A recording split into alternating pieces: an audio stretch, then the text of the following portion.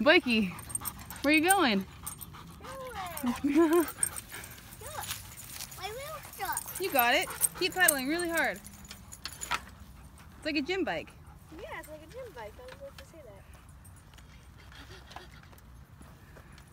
It's a bike that you go to the gym with. That's sweet. Mom, guess what? If I did that with my bike,